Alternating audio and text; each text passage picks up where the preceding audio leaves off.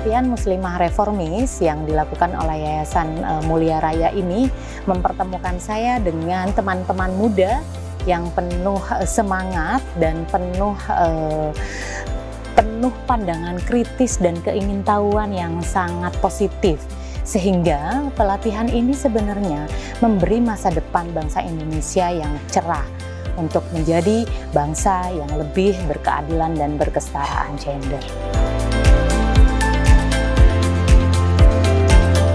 Saya berharap uh, bagi teman-teman yang sudah mengikuti pelatihan Muslimah Reformis, ayo kita refleksi diri menjadi uh, perempuan yang memiliki kesadaran untuk menjadi diri yang sesungguhnya dan membangun perempuan-perempuan lain menjadi perempuan yang bermanfaat bagi umat dan sesama.